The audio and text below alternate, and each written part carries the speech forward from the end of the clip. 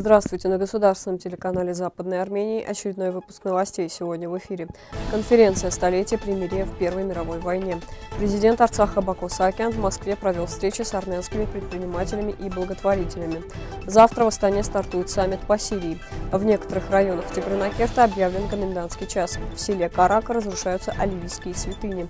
Женщины Версима борются за свои права. В Западной Армении наступила зима.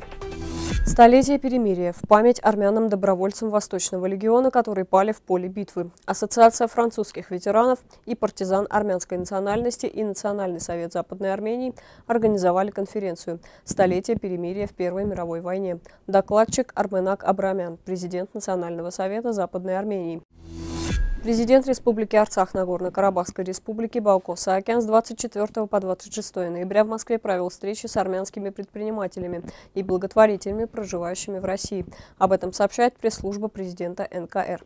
Были обсуждены вопросы, касающиеся осуществления в Арцахе разных программ. Президент Саакян с удовлетворением отметил, что соотечественники из России принимают активное участие в деле развития и обустройства Арцаха, выразив надежду, что высокая динамика сотрудничества будет сохранена и впредь. Сирия. Демистура примет участие в переговорах по сирийскому урегулированию в Астане Федеральное агентство новостей. Степан Яцко. Астана, 27 ноября. Спецпосланник генерального секретаря ООН по Сирии Стефан де Мистура будет участвовать в переговорах по урегулированию сирийского конфликта в Астане, сообщил глава Департамента Азии и Африки МИД Казахстана Айдербек Туматов. На запланированной встрече в качестве наблюдателей примет участие делегация ООН по руководством спецпосланника генерального секретаря ООН по Сирии Стефана де Мистуры, отметил Туматов. По словам дипломата, участником переговоров по Сирии в Астане также станет делегация Иордании.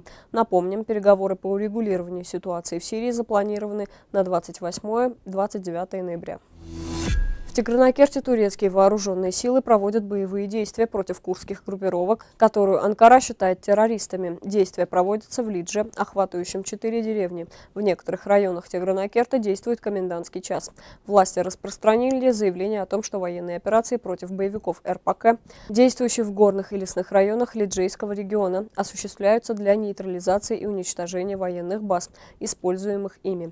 В рамках объявленного комендантского часа, исходя из соображений безопасности, безопасности население было призвано не выходить на улицу.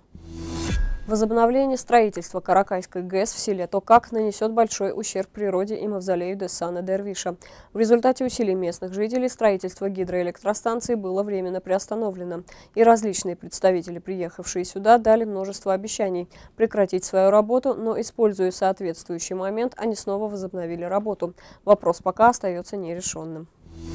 25 декабря Женский союз Дерсима выступил с заявлением в Международный день борьбы против насилия в отношении женщин.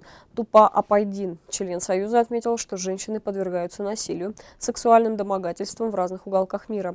Даже если наши права будут нарушены, мы не остановимся и будем бороться за равенство. Повсеместно нарушаются также права женщин в работе, отметил он. По словам Тупы Апайдина, они осуждают все случаи насилия и преследования нарушений прав человека. В Западной Армении уже зима. Снег в некоторых деревнях достигает до 20 сантиметров. Жители отмечают, что в этом году зима наступила чуть раньше, чем ожидалось. В этом году первый снег выпал на 45 дней раньше, что вызвало ряд трудностей, говорят жители. Они также говорят, что у них нет проблем с древесиной и топливом, и сельские работы продолжаются, но временами при сильных снегопадах закрываются дороги. На сегодня у нас все. Далее мы представим вашему вниманию ансамбль «Шугакин».